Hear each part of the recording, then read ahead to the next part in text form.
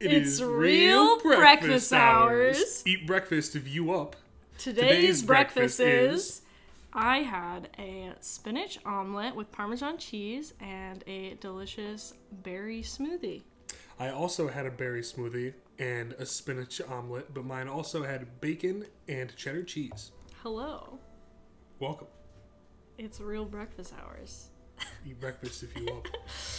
Okay, so this is new, but I thought it would be fun if we did like a podcast in the mornings on Saturdays where we just get to talk about, you know, the week and different news things that we thought were interesting um, and do some little activities together. And then you can come along and watch us while you eat breakfast.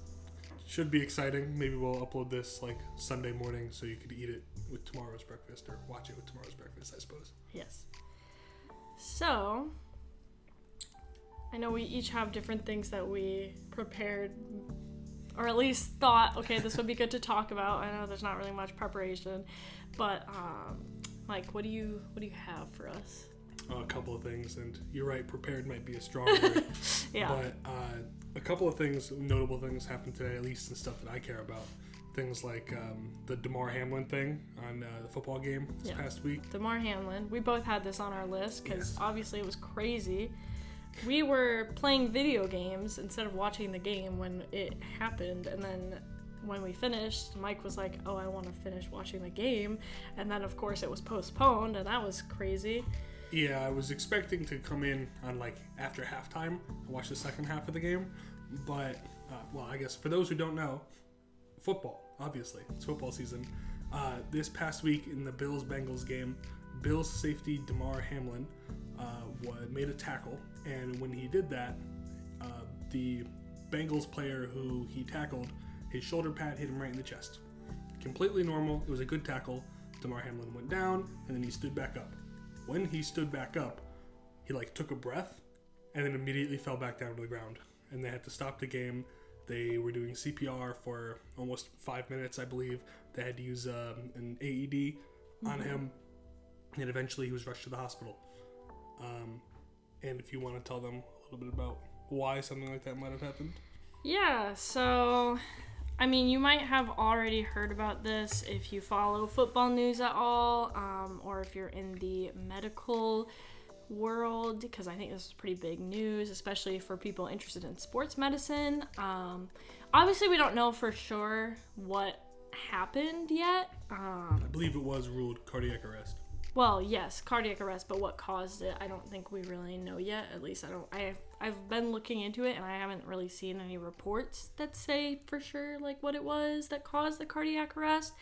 Um, but a pretty uh, solid, I guess, theory, and what I believe it probably was. Um, there is this condition called commotio cordis, um, which you get an abnormal heart rhythm uh, after getting hit with something in the chest directly over the heart at like a very specific time um, during your heart's rhythm and the heartbeat. Um, it's like just that pinpoint moment and the right place to get hit, and then you go into cardiac arrest um, because it would put you into ventricular fibrillation, which is just not a good heart rhythm to be in. That often leads to cardiac arrest.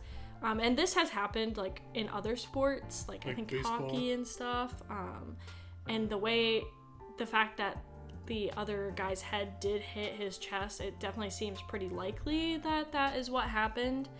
Um, of course, there have been other people online who say things like, Well, just just different opinions. Uh, no, no need to get too specific with it, but people have different ideas of what could have happened, and uh, you know, technically maybe it's possible, but uh, more likely than not, it was just it was the commotio cordis, or at least that's that's what we believe. Um, and it has happened in other sports like hockey and baseball specifically, because the puck, like a slap shot to the chest, can cause that. Um, if you're like the pitcher and the guy hits the ball and it hits you right in the chest, this could it could cause that. It's uh, usually just like a high uh, impact type of event. Um, though in Damar Hamlin's case, he did go to the hospital. I believe they were in Cincinnati, so he went to one of the Cincinnati hospitals. Um, and for a couple of days there, people were pretty concerned about what might happen to him. A lot of thoughts and prayers were going out to him and his family and to their teams. But as of the time of recording this video, he is speaking again. They were able to take his uh, assisted breathing apparatus out of his mouth. He uh, he can write, so he's speaking and writing. So his motion centers or language centers, excuse me, seem to be reasonably intact. So uh, hopefully, there's very minimal, if any, uh, brain damage, and uh, long term, he hopefully will be okay. Yeah, and I did read that like he's FaceTimed his like teammates and things like that. So things seem to be going good. Um, I don't think there probably wasn't too much brain damage because they were able to start CPR so quickly, and it sounds like they were able to get his heart back not in not too much time that there was too much damage to his brain. Did you uh, hear what the first thing he said was when they when he woke up? Yeah, did we win or something like Yeah, that? he, who asked, won? he asked who won the game, yeah. and uh, I guess the doctors told him you won the game of life. yeah. That's cute and all, but I don't think that's what he was looking to hear. No, but kind of true. I mean, that's pretty lucky. Very scary. Something that I've been seeing a lot on TikTok is about how the University of Idaho murder that happened. Basically, there's these University of Idaho students. Um, I think they were pretty much all involved in Greek life. Um, but basically, they go out on this Saturday night, November 12th, and then they come back home. Um, and basically, like, someone broke into their house between, like, or at least the they police had believed that the murders happened between 4 and 4:25 a.m. There's four that were killed actually and then there was two others that survived. Um so there's Ethan Chapin. So he's a guy and I think the other three were all girls. Um and they were just they were living in like you know like how people get like a house apartment. Um I think that's what it was. There's all sorts of like pictures online that you can see of the house. And basically like everyone on TikTok was very curious about this whole situation, especially before we found out who did it, because there were so many like weird elements to it, and the fact that like two of the roommates that were there were not killed. Um, so people were saying like, oh, you know, did someone they know plan it, and like they killed the other ones, and then obviously wouldn't kill the ones that they liked. We didn't know what the situation was which in a way is like really bad because you get a lot of people tiktok has this really bad trend of just spewing all this like Conjecture. conjecture and then people like literally go out and attack the people even though there's no evidence that like they did something um so it's like really not great because everyone thinks like they act like it's a game and it's like no actually there was a real murder so it's like not good um and maybe don't talk about things you don't know as if you know them like i think it's fine if you're just like well it could be this but you can't act like you know it's this and people act like oh, he definitely did it. It's like, well, you can't really say that. Anyways. Um, but some of the new things that were found out is that one of the surviving um, roommates, she said she had woken up um, like around 4 a.m. and she thought she heard one of her other roommates like playing with her dog. And then she thought someone she heard another roommate say like there's someone here um, and they're all like drunk or at least she's definitely drunk because they had gone out that night Mhm. And she says she looks out her bedroom the one that survived. She says she looked out of her bedroom. I think her name's dylan. Um, she looked out of her bedroom and she didn't see anything. Um, and then she opened it a second time because she thought she heard crying coming from another roommate's room.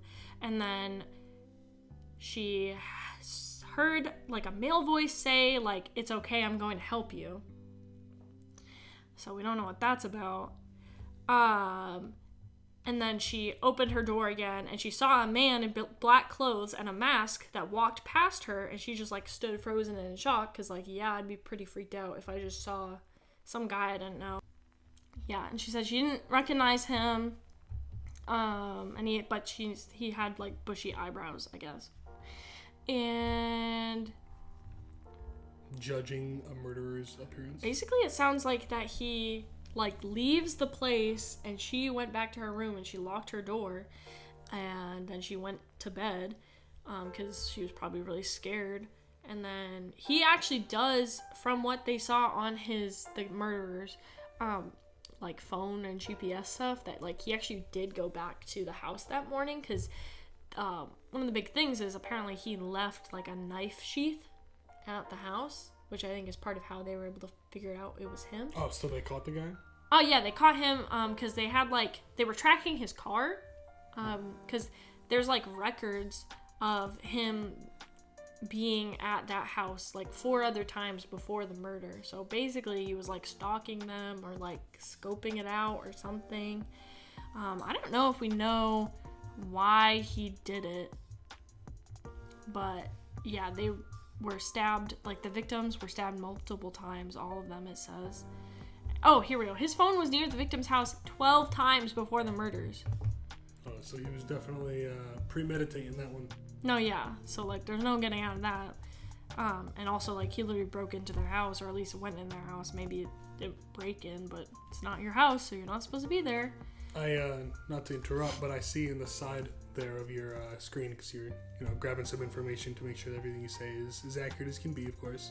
It looks like the cops pulled the guy over without realizing it, uh, maybe a couple days in advance, Yeah. for driving too closely to another vehicle. Yeah. It's so crazy that that stuff like happens so frequently. You, uh, if you'll watch like a documentary or something on a murderer or serial killer or whatnot, almost it feels like across the board, these people have had encounters with the police in the past. Like I don't know what about being a murderer makes you bad at driving, but it happens, I guess. Um, and actually, I did. There was a video of like I think it must have been the police officers like body cam stopping them. And there's like a video I saw it on TikTok or something. Um, of him stopping them and being like, "Hey, you were too close to the Yeah, that's what I was just talking about. But like his dad was in the car with him during that, and you can tell like he's trying not to give too much away because what they were really doing was like literally going across state lines.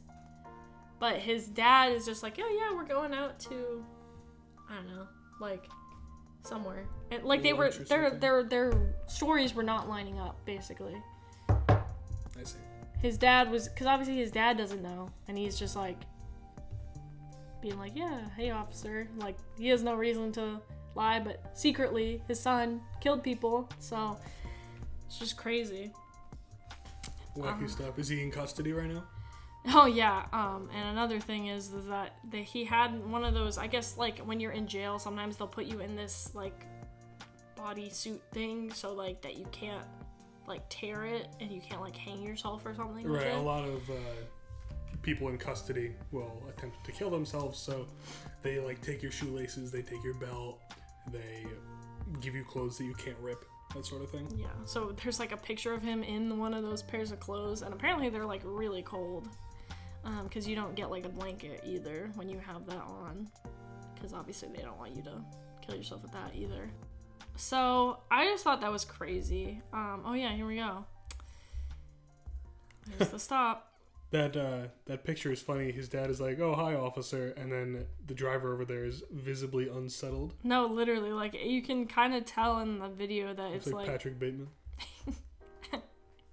He looks he looks like um the The guy from Nightcrawler.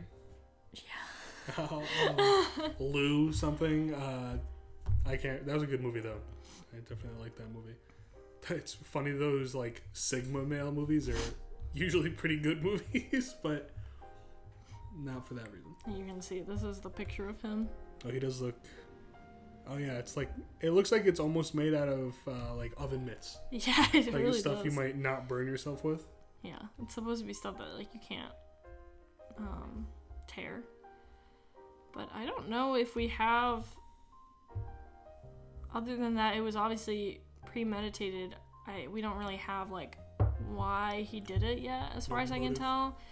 Um and of course there's going to be like a really big case that like going to go to trial and everything like that. So we probably won't hear anything about motive and stuff or from his point of view until the trial because I assume whatever lawyer he gets is going to want him to not say anything until the trial.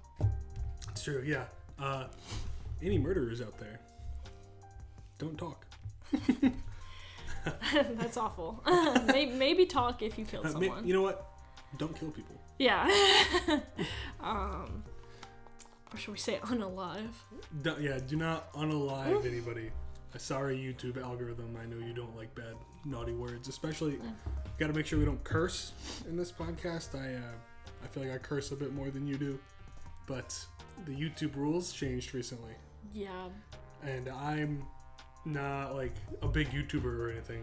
You can probably tell by by uh, this video here, but I've heard, read a little bit myself that the rules are very uh, are vague, or at least the wording of the document seems straightforward, but the way that it's been enforced thus far has been pretty um, different across. Like it's not the same across the board. Everybody's experiencing it a little bit differently. Uh, some people, or at least the document itself, says that you're not supposed to curse in the first 30 seconds or so of the video.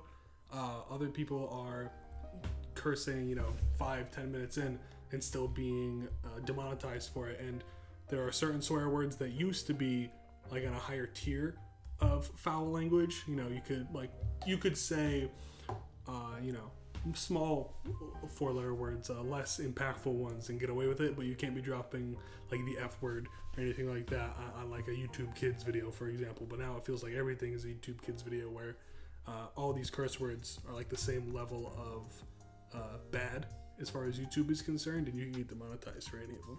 Yeah. It kind of sucks that, and obviously we're uploading this to YouTube, but it really does kind of suck that uh, YouTube is such like basically a monopoly for video services um, for like just anyone to use. And obviously like TikTok doesn't do the long form videos, and it's just like the vertical view, so it's a lot different than YouTube videos. Uh, which you can have more long form content. You could do podcasts like this, um, pretty much anything you want on YouTube. But since they're like the big name of like video sharing stuff, um, they make all these rules and advertising stuff, and it's just like really not for the best of like the content or the creators or the viewers. It's just what makes them money. Yeah, or like if YouTube made a rule tomorrow that said you can't wear hats in their videos, what are you gonna do about it? Where where are you gonna upload your content? I I really don't know. I don't know the answer to that question. You could stream on Twitch, but Twitch one has its own selection of issues, and two, uh, streaming is one thing, but if you're like uploading edited content, you that's really not the platform for that. No. Um, so that it's really sad because I feel like YouTube really had this like golden age almost early on, like in the 2010s before like the adpocalypse stuff, you know. um, and then it feels like every so often YouTube just like sanitizes itself more and more, being like, okay, now you can't say this, and now you can't say this, and now you really can't say this, and it's just like, what is the point? Like, yes, there are kids that watch YouTube videos, but like we already have the function on YouTube that you can say this is made for kids or it is not made for kids. Um, it's not really fair to punish everyone just because like there might be some kids on like just make a like if you want to have it so clean and sanitized like make a different platform for kids to watch or something i don't know like so many brilliant creators shouldn't feel like they are being censored just for what either kids being around or advertisers not liking like swearing? Like i don't know. I just find it hard to believe. I would find it particularly hard to believe that advertisers had an issue with, um, you know, sexual, particularly sexual content or violence or cursing, because if you're Nike or Coca Cola or you know some of these big, like the biggest companies in the market that are going to advertise, Amazon, they advertise over like TV. You know, if I if I'm watching cable, I nobody has cable anymore. Uh, if I'm watching Hulu's live TV. I could be watching any number of things. I could be watching Freddy Krueger kill people, and Freddy Krueger is like literally a kid toucher, right? But Right. I, I could watch a kid toucher murder people, uh, and then there'll be Amazon and Coca Cola and like Nike commercials in between. But God forbid somebody says the F word on their Minecraft gaming video. Well, our advertisers aren't gonna like that. No. And like I kind of can see the okay, not in the first 10 seconds, but even that is just like but what's the point? You know? Like I think just let people make the content they want to make and if people like don't want to do sponsorships with them like that's one thing but like i just find it hard to believe that okay one person does this thing. So now what these advertisers are pulling out all together i feel like in our generation no one even really watches like normal television anymore. Like we literally just watch at least for me like I'm not watching like clicking through channels on my TV. If I'm watching stuff, I'm either watching on streaming services or I'm watching on YouTube, like just YouTube videos because I like watching YouTube videos. You know? So it's the advertisers are going to have to go somewhere. Yeah, I remember when uh, we were younger, or you know, I'm a li- slightly older than you, but not by too much. Um, when I was a kid, you used to just have to. What was on TV was what was on TV. If I and usually I swap between like Nickelodeon, Cartoon Network, Disney Channel, and Animal Planet. yeah. Uh, this was Cartoon Network. I feel like has always had the edge because they've always had cartoons, but this was at a time when Disney Channel was mostly cartoons also, and um, Nickelodeon didn't have quite as many live action things as they do now, or, or at least in my estimation, I like the shows better. Um, but it is like strange to point out that Disney does a lot more live action content now. They used to have things like the Hercules TV show, uh, Lilo and Stitch, just to name a couple. But now it's like almost all like live action with like middle school age uh, kids. But anyway, if I didn't want to watch what was on those channels, I kind of just turned the TV off. There was no on demand in 2005. Yeah. But uh, now I never switch around the channels. I, I need to know what I want to watch, and that's that. Like if I can't, if I want to watch One Piece, if I want to watch SpongeBob, I just go and find it. So Yeah. So it's a lot different. And I think it's just getting more and more like that because, like, I really don't see the generations below us watching. Like, we don't even watch that, like, real TV anymore. I don't see the, like, Gen Z and whatever's after them. I think Generation it's Gen Alpha, or yeah. something. Like, I don't see them going back to normal, like, satellite cable TV, you know? The only like live cable television that I really watch is football. Yeah. I watch the NFL and maybe some hockey periodically, or like basically it's just all sports. If I want to watch sports, it's on regular television, which usually I get through like Paramount Plus or, or Hulu or something like that. Right, so Because even on- then, you're not on, like, cable. You're going through a streaming service. right, it, it's a streaming service that behaves like cable in in that sense. But uh, that's like the only time outside of YouTube ads uh, that I'm like getting commercials. If I'm watching Netflix, there's no commercials. If I'm on, um, you For know, now.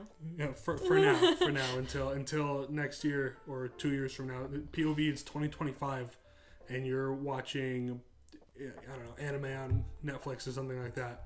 And when it actually fades to black at the 11 minute mark, they really do play you like a Coca Cola commercial, and then it goes back, and you have to deal with that every episode. It's just like uh, TV in 2005, where we circled back, full circle. Yeah. Which is really frustrating because it's it's really just like corporate greed. Like there's literally no other way to put that. Yeah, how dare you share a password? Yes, like you can't share passwords anymore. Like the whole point of people switching to streaming was because we were like, yes, this is convenient that I can look at all this stuff and I don't have to watch ads or at least not as many. Um, and there's so much stuff that I can watch and I can watch at any time. I don't have to wait for the specific time slot. Like I don't have to wait for 8 p.m. for I don't know whatever to come on Wizards of Waverly Place. I don't think Wizards of Waverly Place was primetime television. For me, it was. Now, Ben 10, on the Oh other my hand, that, um, Sorry if the angle is slightly different. I don't know if it will be. Um, the battery died on the camera, so I had to replace it. um, so that meant moving the camera around. So if suddenly we are shifted like to the left or right, I am so sorry. just gonna have to deal with it for Just now. gonna have to deal. Uh, where were we? I think the last thing I had said, I made some joke about Ben 10 being primetime television when I was a kid. Uh, and that's very true. That was like the earliest that I can remember really caring about like a time slot on television. I was, I think it was 2005 or 6 or something like that. So I would have been like 7 or 8 or maybe 9. I don't know. Uh, and I asked my mom, if I could like stay up late or something like that to watch Ben 10, and she let me. But Ben 10 literally came on at I'll call it eight o'clock. It's like 8:02, and the first like intro or whatever had just played, so the show is is on. And then my mom goes, "Oh hey, could you like get me a glass of water?" And this was like the first time I ever talked back to her. I said, "Why don't you get it yourself?" Because I was watching, I was so into the show. She got so mad at me. She like sent me up the stairs, but then like when I was gonna miss the show, but she like stopped me right when I got back up. She's like, "Come back down," and she let me finish watching the show. But she was very unhappy with me afterward. It was nice that I uh, she let me watch the show, and I definitely shouldn't have said that, but. Boy, I cared very deeply Yeah. about watching that show. How old were you? I just said like seven or eight. Seven or eight. Yeah. I mean, it's true. Like that's so that stuff is so important to you when you're a little kid. so it's like, yeah, you might act out because you don't want to not. I don't know. But it was nice of your mom to let you finish it. Right. It's like a simple thing. Like, yes, I could have just, I could have very quickly gotten her a glass of water and come and sit back down. But I was, I was glued. Yeah. Another thing we could talk about is the Henry Cavill stuff. Oh yes. Okay. That's yes. So uh, Henry Cavill, great actor. Um, he plays some characters that I'm very, or I guess played some characters that I care very much about. Um, characters like Superman, one of, if not the like most iconic. I, I would actually even, I'm gonna put my foot down. The most iconic comic book character superhero of all time, Superman. Of course, everybody knows Superman. He was playing him in the DC movies, uh, but he's out now. He, he even came back. He was gone from the movies for a couple of years after like the most recent Justice League or something with the whole Snyder cut debacle. But he's gone, and then he proudly makes his return in a spoiler alert post credit scene of Black Adam. Yep. Which I was very excited about. I was texting my friends. I was in a frenzy. I was, she was there. Yes. I was like, Henry Cavill's back because he's such a great Superman. The- The movies that he's been in were not perfect. I'd even call some of them mid to bad. However, he was a phenomenal Superman. He looked like the character. He played the character well, and you could tell that he cared. And after his little 30 second cameo at the end of Black Adam, they got James Gunn on, the guy from the Suicide Squad and the um, Guardians of the Galaxy movies. I guess he's in charge of DC now, and he's cleaning house. He like fired everybody, including Henry Cavill. Henry Cavill made an "I'm back" post, and then like two weeks later had to make a "It's over, bros" post. like they they they said, "We're so back, but we're, it's over, bros," and just like that. And then this was about in between that time. He comes back as Superman. A week passes, and he says, "Oh, and I'm out of The Witcher." He leaves The Witcher in what many of us consider to be a massive blow to the show because we care very much about uh, him playing Geralt. She did such a good job as Geralt. He, yeah, the say what you want about the show, how faithful it is to the source material, even if it's good or not, whether you enjoyed it or not. Henry Cavill was phenomenal as Geralt of Rivia. Him leaving as Geralt really deteriorated or detracted from our desire to see season three. I don't know if we'll watch it. Maybe we will without him. But uh, anyway, so he he's back as Superman. He's out as Geralt. You know, a soul for a soul or whatever, right? Equivalent exchange. But then a week after that, he's gone as Superman. So we're like, Henry Cavill is just out, and he made this big long tweet or whatever about how much he cared about the source material. And I even saw one woman who worked on the set of she might have been on the directing staff of The Witcher. She made like a TwitLonger about how she didn't get along with Henry Cavill, but she like couldn't say any like buzzwords about him. She didn't say he was like any ists or phobes or, or like a, a bad person or anything. She just said that like he didn't vibe with her or whatever and was very um, adamant about the source material, which to me seems like a good thing. Um, but so we're like reeling from that, and then do you want to tell them the the good thing that came after? Well, this is almost embarrassing to say that this is a good thing, but not really. But uh, basically, there's this series of whatever you want to call it. There's books, games, models. You don't gotta beat around the bush. Okay, okay, just say it. uh, Warhammer, Warhammer 40k. Warhammer 40k. Uh, he's making a show for it, right? Yes, he's going to be executive producing and starring in an upcoming Warhammer 40k show on Amazon. Which she, I've been into for you know a year or two now, and um, she's been getting into we uh, the last couple of months, just a little lightly, sort of foot in the door, foraying into the the space. Yeah, um, I like. I guess okay, so I'm like kind of a nosy person.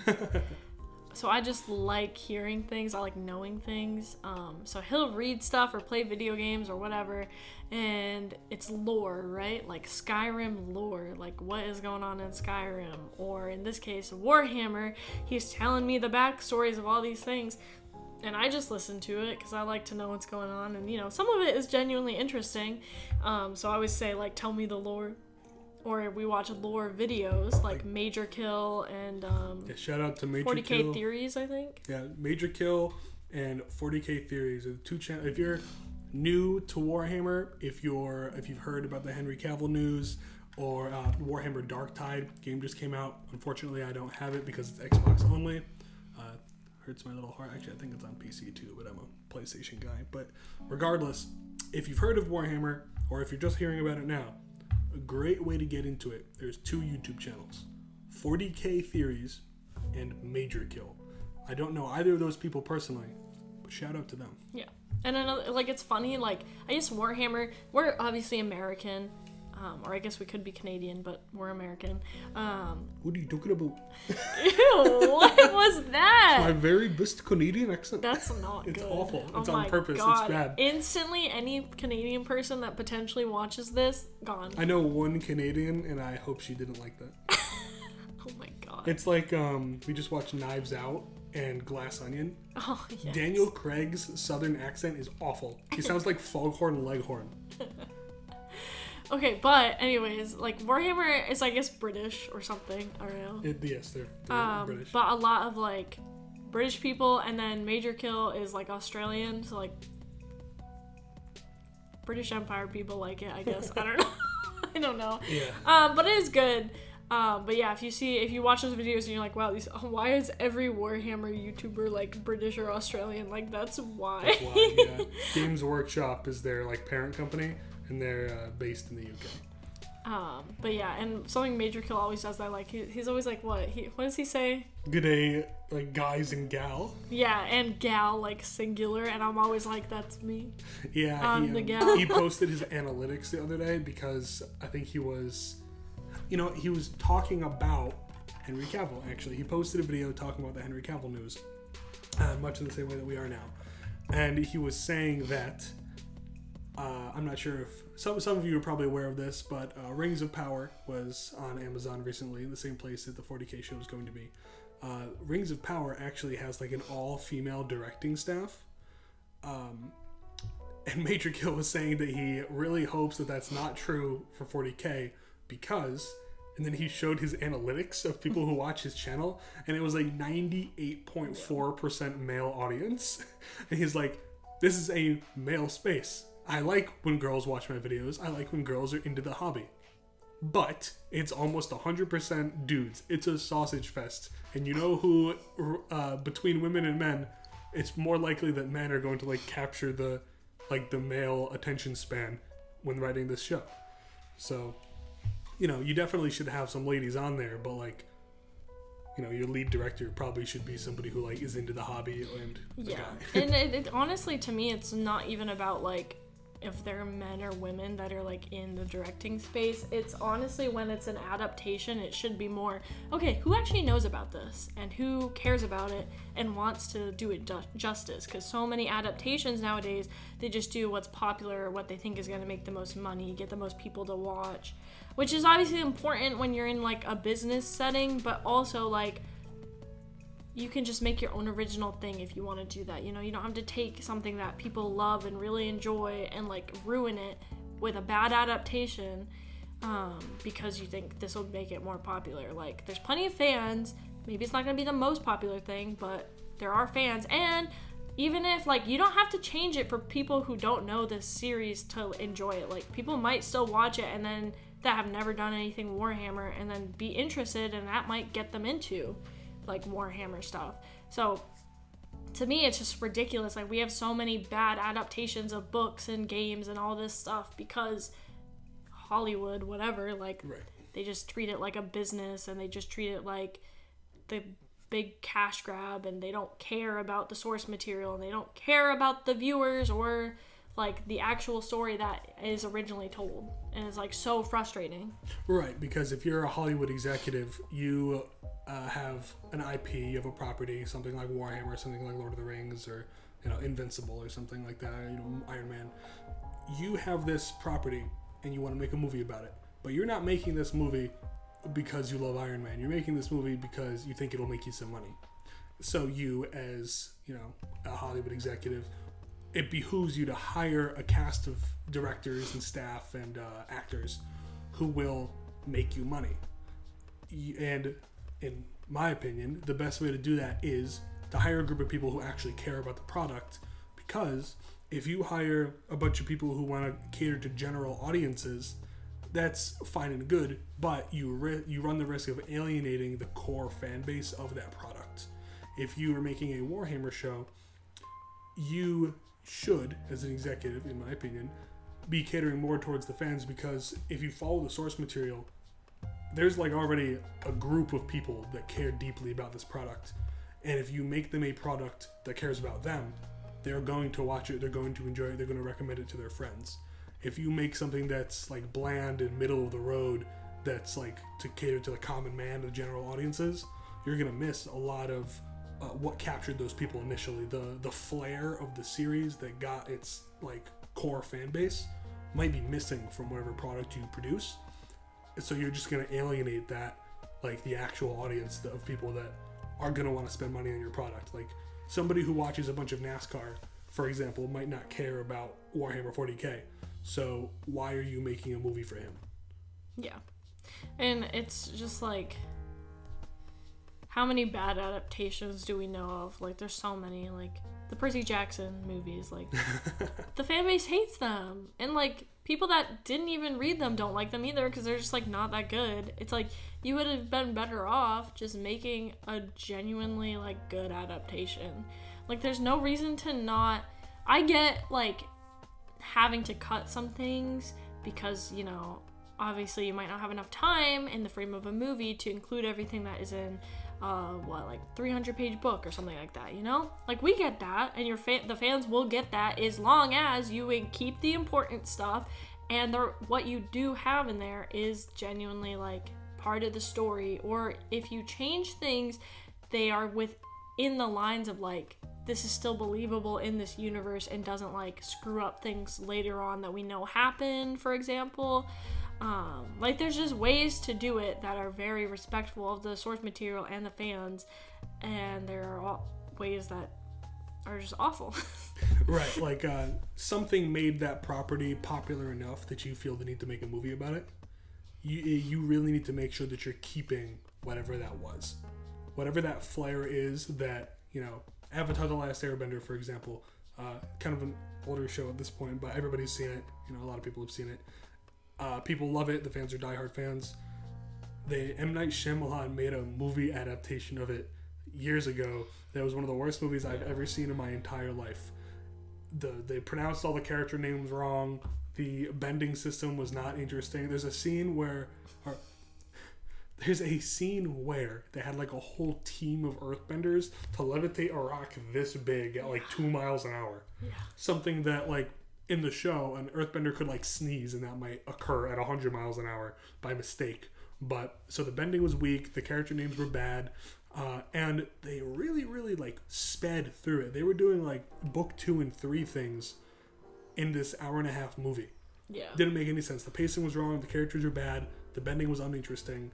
Everything that was good about the original was absent from that uh, product. So people hated it, and they still talk about. We're talking about it right now that it's bad. Yeah. So if you make a bad adaptation, people will talk about it for a long time. And I just like, I don't know, maybe they don't have like souls or morals or something, but like, wouldn't you be embarrassed to make, like, you think you'd be embarrassed to like make that bad of an adaptation? Like, why, like, just don't buy the IP or whatever to begin with if you're gonna do that. Like, either make a good adaptation or don't touch it.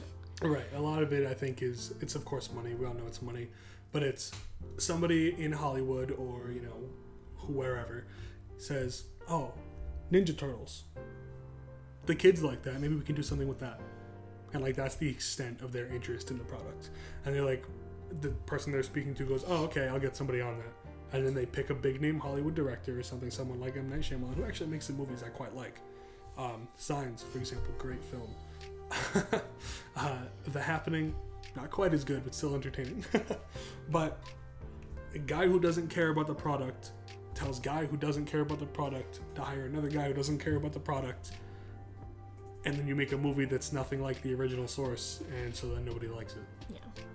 Which is why we are very excited and hopeful that Henry Cavill is in charge of this uh, Warhammer thing because he literally doesn't he like literally paint models. he does he, um, uh, yeah his issue with like superman and the witcher was that yes he was a lead actor but he was not on the directing or uh, production staff in any capacity. It was just i'm your star and here's what i want but then your director doesn't have to listen to you. They say that's great henry but here's what i need you to do and they hand you the script and that's the end of it. So he walked. He left. But now that he's executive producing the warhammer series uh, he gets to make those decisions. He's a big nerd. He's uh, he's been in interviews. It's always weird for me to hear him with a British accent because I'm so used to him being Superman and Geralt. But um, he's British. Uh, Games Workshop's British. He talked about how he paints. Uh, they're called custodians. They're little golden guys. All the models are pretty small. They're like this big, but he paints them. He reads the books. He plays the games. Uh, so he should be very. I know he's very excited to be on the production team and starring in it. Hopefully, they do uh, something a little more grounded. I, I don't want them to start too crazy. Um, I'd like to see it evolve into something crazy, but you gotta plant your feet first. Yeah. Okay, so that was a good talk about that. Um, I think I'll bring up one more thing, uh, which is just gonna be quick, and then I think we should go on to our what are we doing? The sorting hat quiz today. Oh, sure.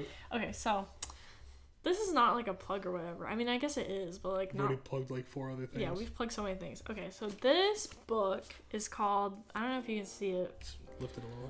Um, it's called the Acid Watcher Diet. It's a 28 day reflux prevention and healing program by Jonathan Aviv. I hope I'm saying that right. I assume I am.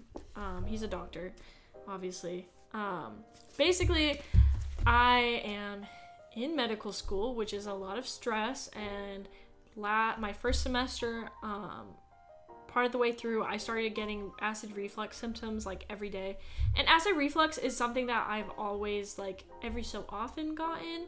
Um, but I think in the past year, it's really been more of a like more consistent thing. Like I used to just get it every so often for like a night, and then I'd be good for weeks to months, you know, um, when I was little. But like recently, from poor diet and lack of exercise and stress and all all the bad things, um, I was having really bad acid reflux and it was getting to the point that i was getting concerned because i was also getting these other symptoms um, and we had been sick um, and i started getting this like weird cough and i didn't know if it was from like we had covid for a period um, Like a week.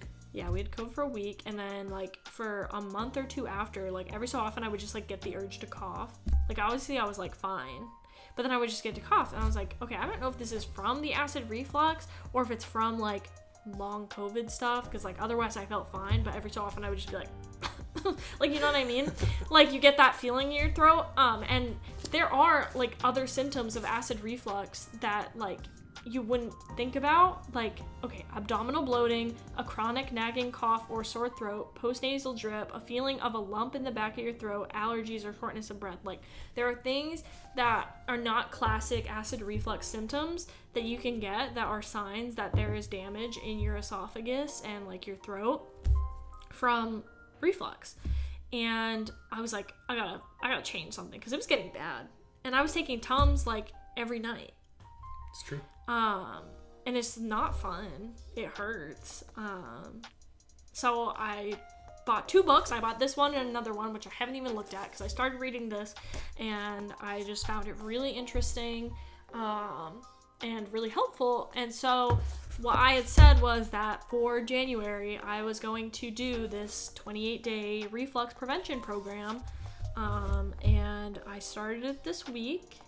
And so far, I've been sticking to it, which is kind of I'm, I'm proud of myself. I don't know like i am such a foodie person and i really like unhealthy foods. Like i love fried foods. I love salty things and all these like you know sometimes i feel like if i could just eat like fries and pasta every day i would right? Like constantly going between like taco bell and mcdonald's and stuff like i don't know. Like i just really like food and those things taste really good but they're not good for you. And obviously you can have them in moderation but if you have the damage like this is really to just like let my body heal itself basically. And then after you do like two weeks to like a month of a maintenance phase where you let in more food but you still don't do some things and then afterwards you can either stick with the maintenance phase like kind of meals and things and recommendations, or you can go back to eating how you did before. Obviously, I don't think I'm gonna. I think it would be a waste to just completely like abandon all this like healthy journey, I guess, that I've started. Especially like once I get to what, like a month and a half two months maybe, like it doesn't make sense to me to just like go back and then what I'm gonna have to do this whole process again like in another six months when it comes back. Um, so I'm I mean I'm excited about it. It it's hard. Like you know I was complaining last night about craving things. I really for some I'm usually not a sweets person, but I was really craving chocolate last night. Um, and you can't have chocolate with this because of the caffeine in it. Um, I, was eating chocolate right in front of her. yeah, he's he's been mostly good with it, but he does still he has things that I can't have. Like he had bacon in his omelet today, and it smelled really good, but I can't have that. Normally, um, I would offer her some, but uh, it, I can't. I want to, but I can't. yeah, I mean, I did kind of yell at him to not offer me things because I have very low self control. So if he starts offering stuff to me, I'm not gonna be able to say no. I'm very bad about. Well, rather, I feel like the opposite is usually true. That I'm very good about wanting to share with her. If I have a cup of coffee, I'm like, oh, you want a sip? If I have, I, I feel like maybe it's more than necessary. Where I'm like, oh, I have a beer. I know you don't like beer. Have a sip. yeah, and I literally would be like, no, I don't want it, and he'll be like, come on, have a sip. It's like peer pressuring me. It's like yeah. bad. I'm like, stop. I'm, I'm, having her uh, build a flavor palate. It should. It you know what? It's working though because like two years ago, anything like beer or coffee that I gave to her, she'd be like. It just tastes like beer. It just tastes like coffee. But now if I hand her a beer or something, she's like, I can taste the the blueberry in it. I still don't like it, but I can taste it. So she might not like it, but her palate is definitely improving. Um, so that that was this week. Um, I guess I'll say some maybe favorite things that I've had so far because there's like certain recipes in here. Uh, I honestly think that like one of my favorite things I made was the first day I started it for lunch. I made this, um, it was like a chicken pesto sandwich on whole wheat, of course, because of course it's a diet, you have to have whole wheat. Um, I put it, I have like a panini press, I put it in the panini press, and oh my god, it was so good. It was like a warm sandwich. The mozzarella in it like melted a little bit. It was good. Like it didn't taste like diet food, you know? Mm-hmm. It tasted just good. Like I was like, dang, I would get this at like a restaurant or something. Um, so that was a, definitely a favorite. Um, we I made this fish. Um, you made made fish twice. You made fish. Yeah, but the night. first one. Was there a was there a vegetable with it, or was it like literally broccoli? I think. Oh yeah, I think it was like broccoli and this halibut. Or no, it was supposed to be halibut, but I couldn't find it, so I got haddock, which I think is pretty similar. Um, and it was like it's supposed to be this like white miso agave marinated fish, but I didn't have that. So instead, I just used um, the liquid aminos, which is like a soy sauce substitute that is like I'm supposed to use from this. So I just used that with some agave, blue agave nectar.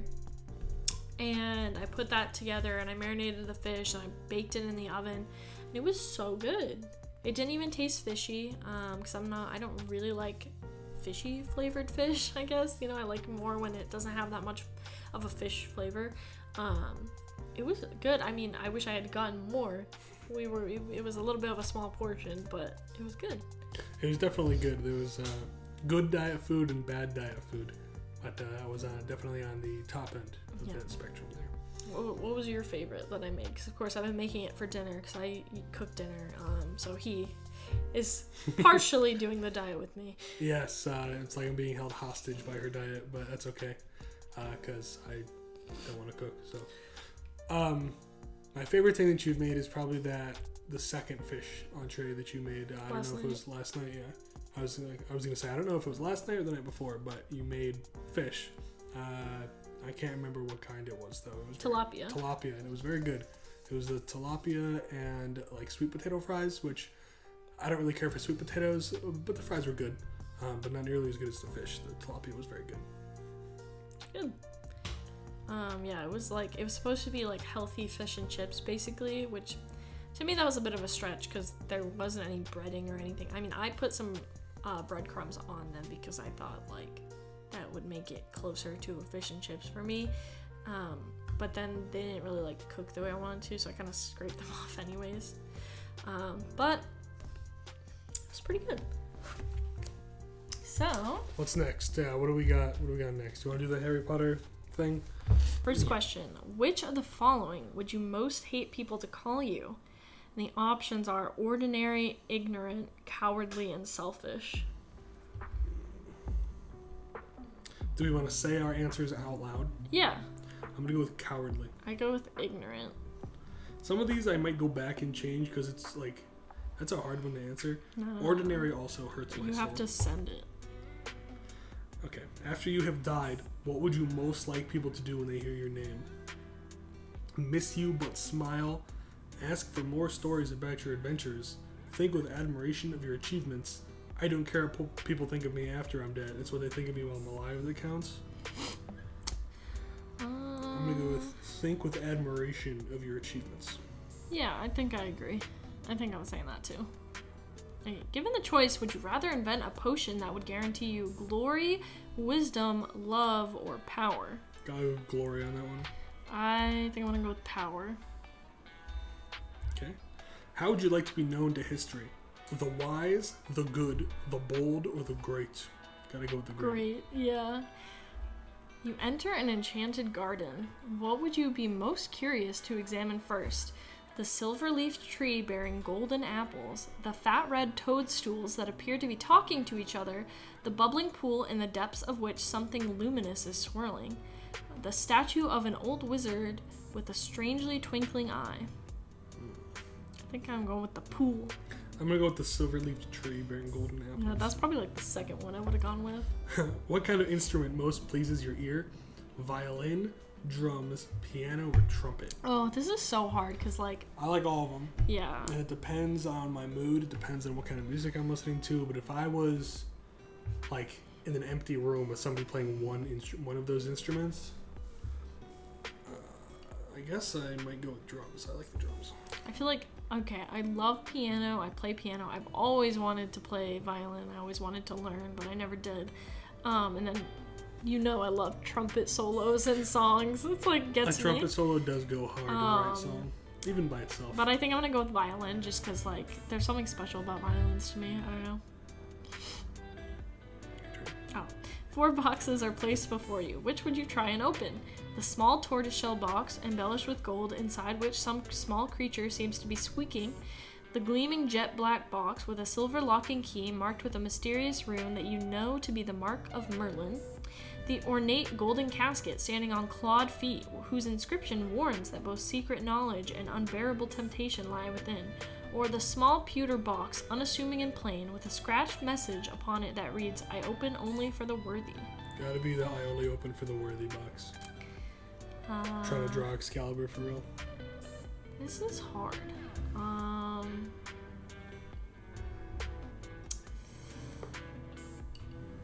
I don't know. I like the I only open for the worthy, but I also like the golden casket. That's kind of crazy. You gotta just send it. You gotta go for one. He told me not to I know, I know. second guess myself too much. Okay. Um, I think I'm worthy, so I think I'm gonna go for that one. Excellent. All right. Four goblets are placed before you. Which would you choose to drink? The foaming, frothing, silvery liquid that sparkles as though containing ground diamonds. The smooth, thick, richly purple drink that gives off a delicious smell of chocolate and plums. The golden liquid so bright that it hurts the eye and which makes sunspots dance around, uh, dance all around the room. The mysterious black liquid that gleams like ink and gives off fumes that make you see strange visions. Going with the golden liquid. I'm gonna go with the silver liquid. Once every century, the flutterby bush produces flowers that adapt their scent to attract the unwary. If it lured you, it would smell of a crackling log fire, fresh parchment, home, or the sea. Big the sea on that one. I think maybe the fire. Although home would be maybe too. Yeah. A troll has gone berserk in the headmaster's study at Hogwarts. Is about to smash, crush, and tear several irreplaceable items and uh, treasures, including a cure for dragonpox, which the headmaster has nearly perfected. Student records going back a thousand years and a mysterious handwritten book full of strange rooms believed to have belonged to Merlin. In which order would you rescue these objects from the Trolls Club if you could? Uh, I'm not gonna. Yeah, that's fine. It's just you rank them in order. So for me, I would do the cure, the book, and then the records. I'd probably do the book, the cure, and then the records, because maybe the book like can help us get back to the cure. Let me see. Which would you rather be? Trusted, liked, imitated, praised, envied, or feared? It's a typo on feared. Yes. Um, I think praised. Uh, I'm gonna with envied. Which of the following do you find most difficult to deal with? Hunger, cold, loneliness, boredom, or being ignored? Ooh. Easily being ignored. Yeah. It makes me very upset when people ignore me. I hate being lonely, but Being ignored being is ignored is like lonely but intentional. Right, like when you're alone in your house, nobody's ignoring you. But if you're in your house with other people and nobody's paying attention to you, you're like lonely, but also. And the battery died. Um, I guess these batteries are not really good for like long videos. Um, They last like 25 minutes each, maybe. yeah, but it's okay. We're almost done here. Uh, not quite. Uh, we're there's 29 questions. Wow. We're on 13. Okay. Um, I believe it's Is it me? your turn. yeah. What are you most looking forward to learning at Hogwarts? Um. Oh, this one is split up into two. Apparently, there's like a bunch of different answers, and they can only have six answers per uh, question on this. So, the options are every area of magic that I can, apparition and disapparition, being able to materialize and dematerialize at will, transfiguration, turning one object into another object, flying on a broomstick, hexes and jinxes, all about magical creatures and how to befriend slash care for them, or secrets about the castle. I feel like this is a silly question. You kind of just answer every area of magic that I can, and then Yeah. for the follow-up, you press none of the above. Yes, definitely. Uh, number 15, Burger King foot lettuce. If you could have any power, which would you choose?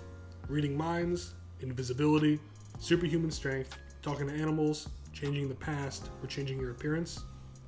Easily superhuman strength. I'm going to change your appearance at will. Understandable. I was like, we got another two-parter here. Okay. Uh, which of the following would you most wait? What the? Oh, okay. Would you most like to study? And it's like different animals. Um, centaurs, goblins, mer people, ghosts, vampires, werewolves, or trolls. Definitely mer people. Definitely werewolves. So go for none of the above on one of them, werewolves on the other.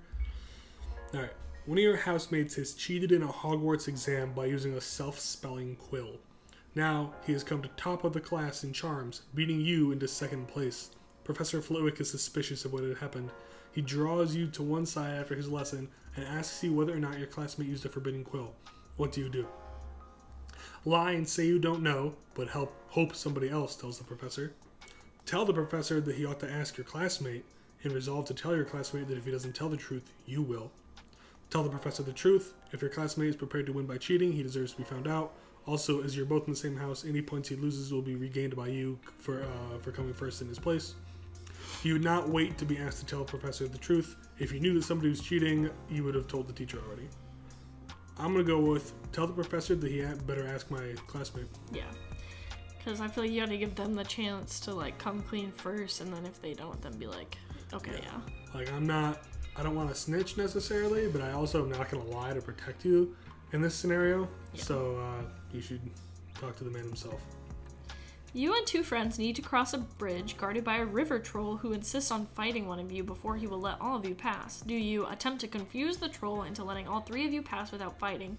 Suggest drawing lots to decide which of you will fight? Suggest that all three of you should fight without telling the troll, or volunteer to fight? I would confuse the troll. I think we gotta gank the troll. Just jump him. Jump. Which road tempts you most? The wide, sunny, grassy lane, the narrow, dark, lantern lit alley, twisting, leaf strewn path through the woods, or the cobbled street lined with ancient buildings? I think the cobbled street. I gotta go with the narrow, dark, lantern lit alley. That was like my second choice. There's definitely something down Although there. there's they're all like I would want to walk down them. Which nightmare would frighten you most? Standing on top of something very high and realizing suddenly that there are no hand or footholds nor any barrier to stop you from falling. An eye at the keyhole of the dark windowless room in which you are locked. Waking up to find that neither your friends nor your family have any idea who you are, or being forced to speak in such a silly voice that hardly anyone can understand you and everyone laughs at you. Gotta go with my friends and family forgetting who I am. Yeah, no, that's like genuinely a nightmare. Yeah, it's That's bad. awful. Late at night, walking alone down the street, you hear a peculiar cry that you believe to have a magical source. Do you proceed with caution, keeping one hand on your concealed wand and an eye out for any disturbance? Draw your wand and try to discover the source of the noise. Draw your wand and stand your ground. Withdraw into the shadows and await developments while mentally reviewing the most appropriate defensive and offensive spells should trouble occur. Uh, probably proceed with caution, one hand on the gat. Yeah, yeah, definitely. That's what I would do. A muggle confronts you and says that they are sure you are a witch or a wizard. Do you? Ask what makes them think so. Agree and ask whether they'd like a free sample of a jinx. Agree and walk away, leaving them to wonder whether you are bluffing. Tell them that you are worried about their mental health and offer to call a doctor. Hmm.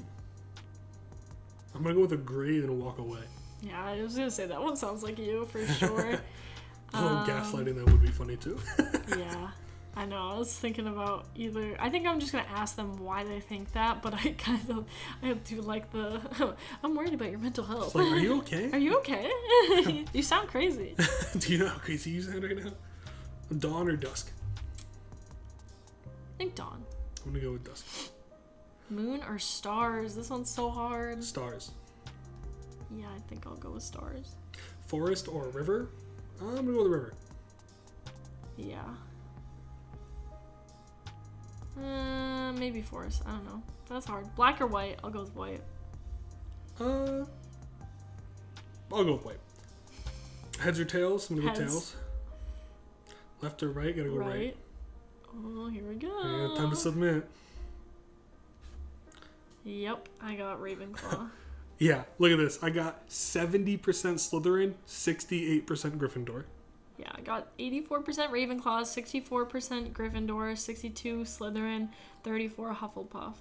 My Hufflepuff was 52 and Ravenclaw I'd also 48. just like to point out that the trending quizzes on the side, the first one is Do I have daddy issues? Where do you see that? Oh.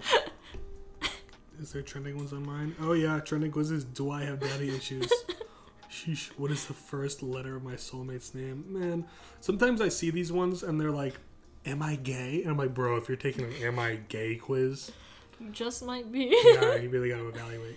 That's pretty much it for our first episode of Real Breakfast Hours. Um, I'll put on the screen, but basically, I have an Instagram. Um, it's at Mikki Dash or underscore Gervais. Hold on.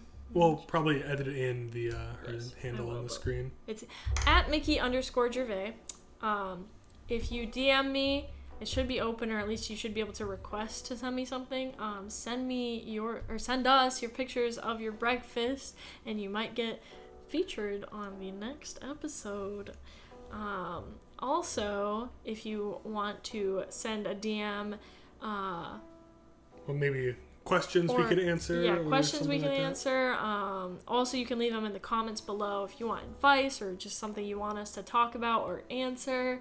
Uh, any ideas you have for the next episode, whatever you want to see, definitely comment down below or send me messages on Instagram. Um, yeah.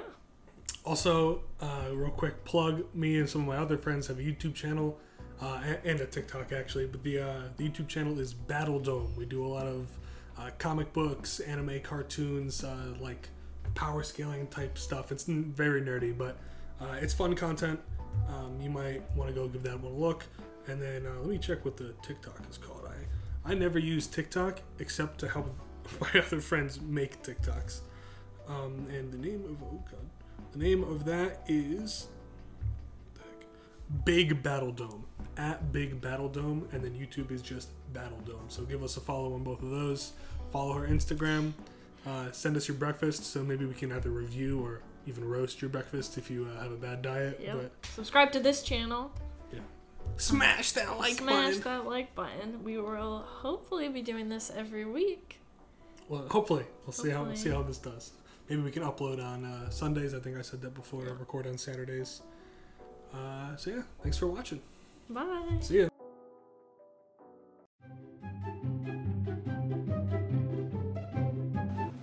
Don't actually have anything against Matt Gaetz other than I don't like his face for some reason. If you're gonna murder this out, I'm gonna grab more coffee. Murder Yeah. this out. If you edit this out. Murder this out. I'm gonna specifically not murder that out though.